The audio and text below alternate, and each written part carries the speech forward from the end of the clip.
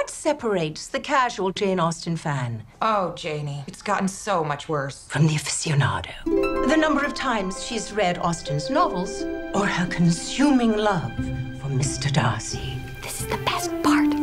Unbelievable. She finds her way here to the world's only immersive Austen experience. You're going to the Darcy place too? Yes, I memorized the first three chapters of Pride and Prejudice when I was 13. What's that? Welcome to the Regency era. Look at those.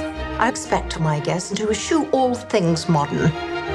May I present Miss Jane Erstwhile, an orphan of no fortune? Oh.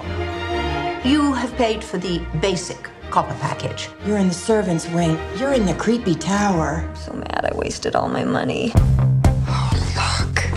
It's one of those Mr. Darcy guys. I hear there was a ball on her last night. Do you enjoy dancing? Not particularly.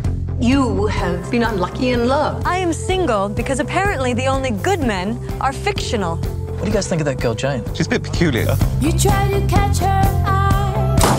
Tally ho, a hunting we will go. I'm kind of a mess, aren't I? She's got a I'm going to take charge of my story. An Austen heroine gets engaged by the end of the book. That is what I am going to do. She's.